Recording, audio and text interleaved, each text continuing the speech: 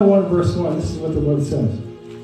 He says, I will sing of your love and your justice to you, Lord. I will sing praise. He says, I will be careful to lead a blameless life. When will you come to me? He says, I will conduct the affairs of my house with a blameless heart. And here he goes, watch, he's going to guard his eye gate here in his heart. He says, I will not look with approval on anything that is vile. Look how to protect his eye gate. I will not look with approval on anything that is vile. I hate what faithless people do. Look, now his tongue is also, he's going to sanctify his tongue. He says, I will have no part in it. He's not going to repeat it. He's not going to gossip about it. He's not going to socialize about it. He's not going to have any part of it. And then finally, Job 31 1, and we have to close. Job 31 1. Again, this is the eye gate. Now, the good scripture for the ear gate, too. Job 31 1. And he says this Job chapter 31, verse 1. Especially for every man in the congregation. It's true for women, too. Because there's always that covetous shopping eye. Just take a look at your browsing history and you'll see a long list of, my goodness, I really spend two hours shopping, three hours shopping. You're at the office, shopping on the internet. He says this.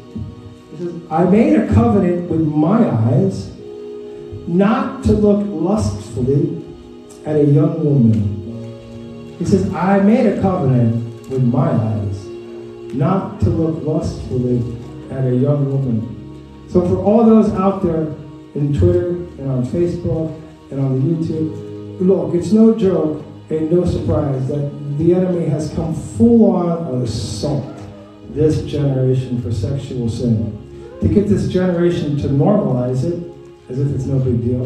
And God speaks death to the four corners of sexual sin death, death, death, death. Just look at the life of David and what happens when he fell to sexual sin with Bathsheba. The Lord is speaking. It is not a joke. It's no surprise that the enemy is going full force after the church and after those Um, that are attempting to walk righteous and holy and tempting them with sexual sin. And that's why you see all the social media algorithms working so hard to defile the church of Christ. What can you do? You have the Holy Spirit in your life that will help you and give you power. Will give you the power to train your eyes to look away.